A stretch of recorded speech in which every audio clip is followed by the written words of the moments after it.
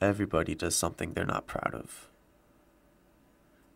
Something you would never think about doing. It's so strange how quickly your thoughts can be altered by emotions. That feeling. That horrible, disgusting, amazing feeling of just wanting something so much that it consumes everything you know. It disables you from deciphering wrong from right. My name is Doug Briggs. I've never really thought of myself as a violent person. But then again, what do your thoughts have to do with reality, anyways?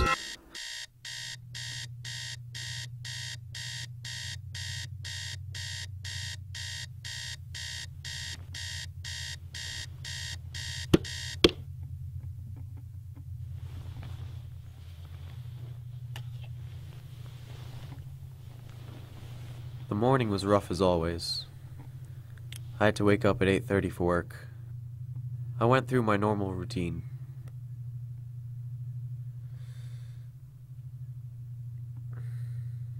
I woke up, put on my glasses, checked the time, and then got ready to leave.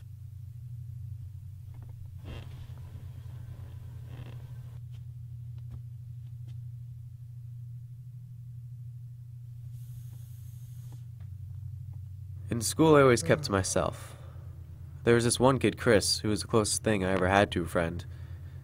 But in sixth grade, he moved, and I haven't talked to him since.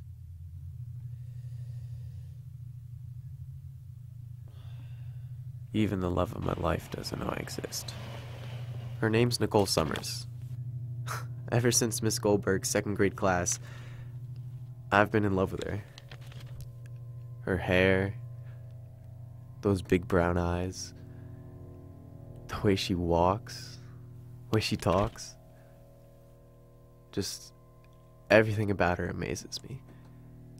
In my eyes, she's perfect. I've always wanted to have a close group of friends, but I never did.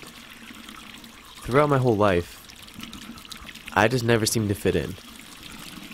All the different groups in high school, jocks, nerds, emos, burnouts.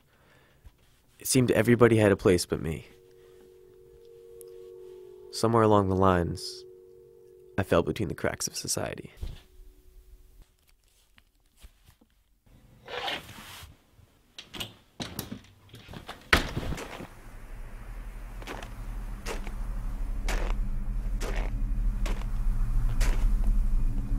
When I was six, my parents got divorced. Legally, I had to stay with my dad.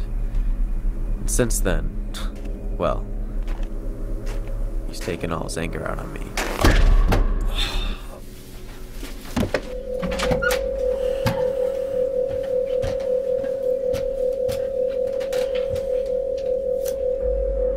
School was just as rough.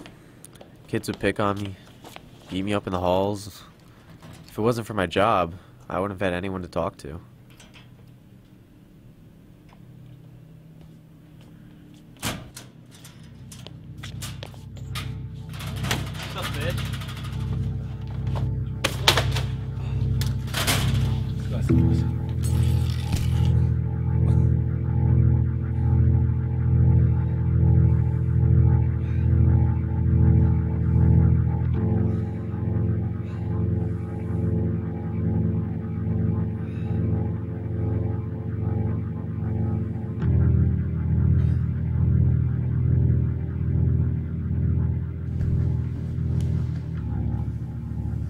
Maybe it was the trail I had to take every day to work that did it to me.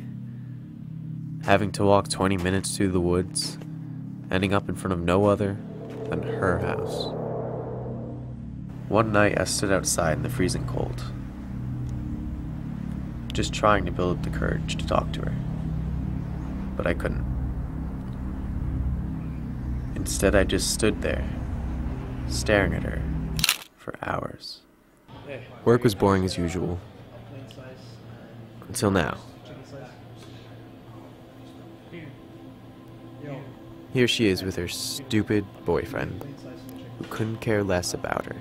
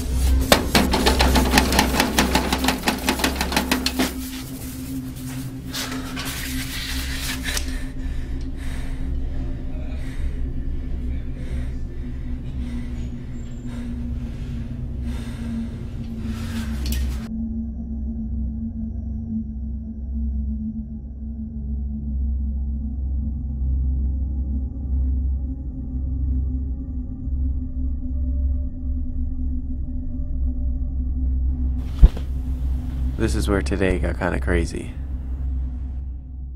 It was right at this moment when I felt something new, something different. It was courage. It gave me the strength to do something I thought I never could.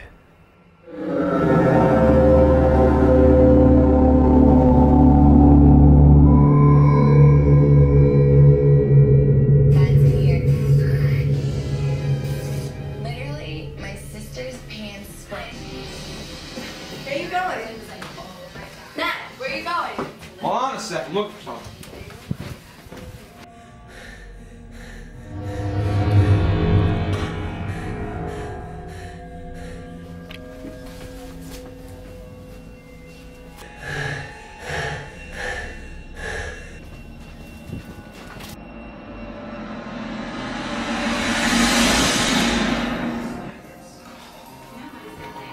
See my keys?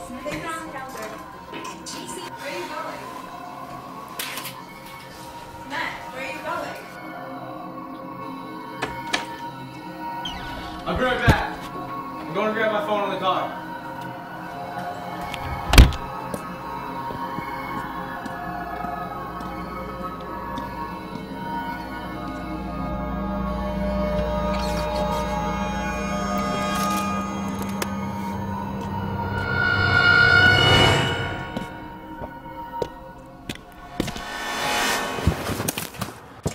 What the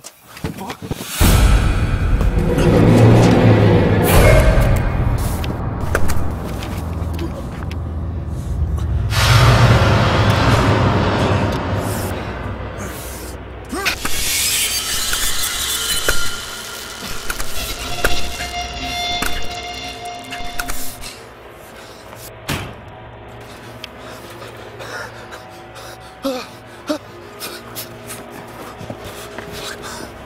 It just happened. I, I didn't mean to kill him. I acted out of impulse, but, but. But now there's nothing I can do to take it back.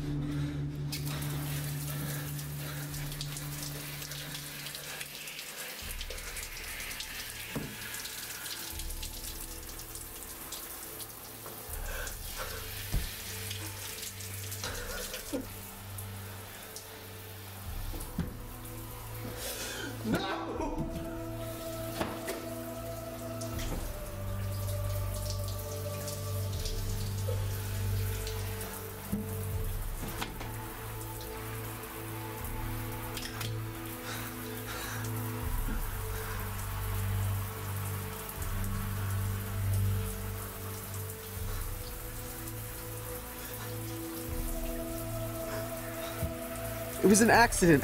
I would never mean to kill somebody. I, I didn't mean to do it, darling. I'm sorry. The thought of ending someone's life is it's just too much for me to go on. I I can't go through life knowing I ended somebody else's like that. I'm, I'm sorry, Mom. I'm sorry, Nicole. I love you both.